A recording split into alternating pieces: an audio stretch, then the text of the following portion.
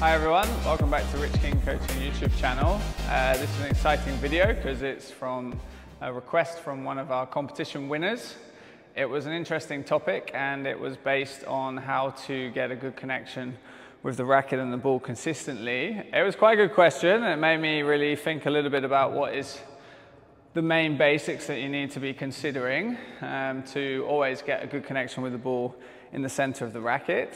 Uh, for me, I'm a strong, firm believer of stability, getting stability in your body with your legs or with your racket. And that in itself is going to give more possibility to judging uh, the connection of the racket with the ball much better. I'll explain a little bit about that more in a second.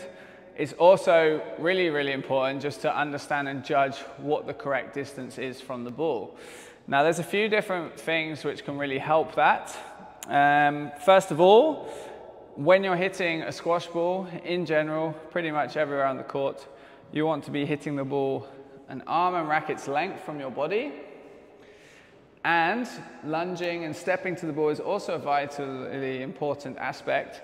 So whatever your comfortable lunge distance is, maybe sometimes you have to take bigger lunges and sometimes you don't need as much, but in general, a good comfortable lunge distance, something like this, and an arm and racket's length distance from the ball.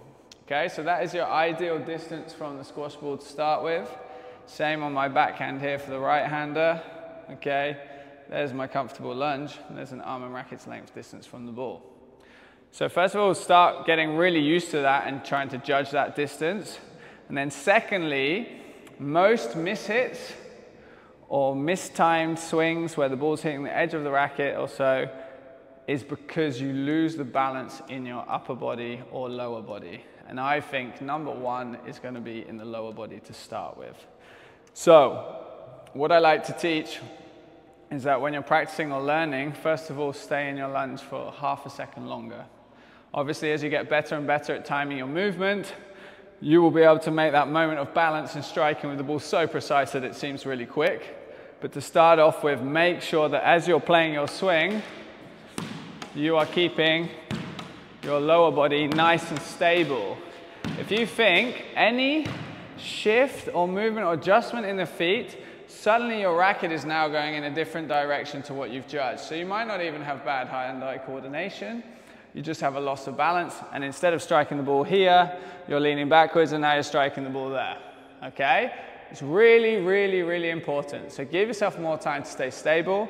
And then as you develop that balance, you can make that strike point with the ball and the balance of the lunge so short that it looks like you're gliding around the court.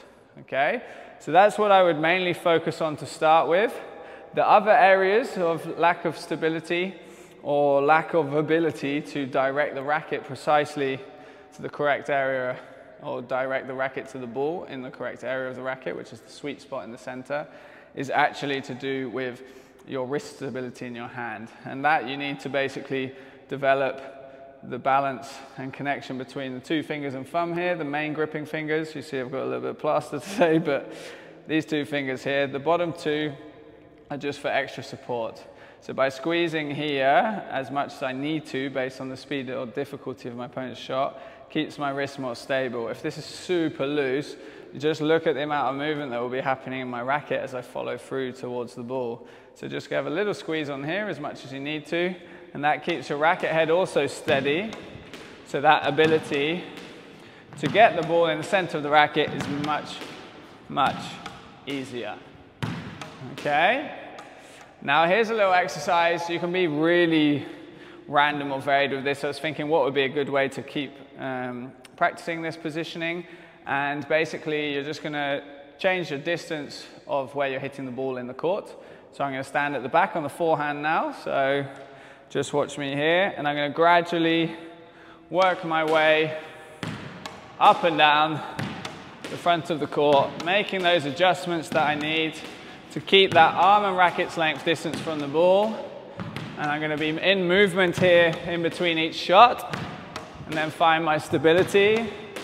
And then what you can do is then make it random by putting in a boast, adjusting your feet, finding that balance and distance again, and just changing where you're striking the ball.